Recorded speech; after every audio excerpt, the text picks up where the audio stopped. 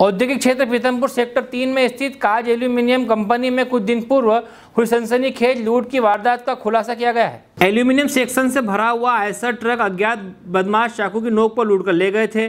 सूचना मिलते ही पुलिस मौके पर पहुँची और मामले की जाँच शुरू की। पुलिस ने लूट की घटना को अंजाम देने वाले छह आरोपियों को धर दबोचा है। आरोपियों के पास से साठ लाख रुपए कीमत का एल्यूमिनियम सेक्शन और आयसर ट्रक जब्त किया है। फ़िलहाल लूट के सभी आरोपी सलाखों के पीछे हैं। पीथमपुर से संजय सोनगरा की रिपोर्ट।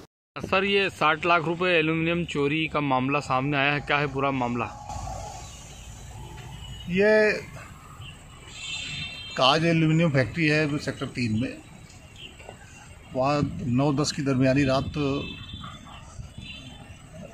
एल्यूमिनियम चोरी गया था, जिसमें चौकीदार स्वयं लिप्त था।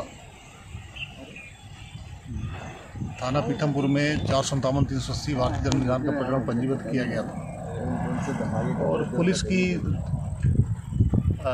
टीम जिला पुलिस अधीक्षक श्री आदित्य प्रताप सिंह ने बनाई थी। उसने अच्छे लगन मेहनत से मेहनत करके और सात दिनों के अंदर पूरा साठ लाख का माल मैं आरोपी के बरामद कर लिया लिया है। आरोपियों को गिरफ़्तार कर जुडिशियल रिमांड में भेज दिया गया है।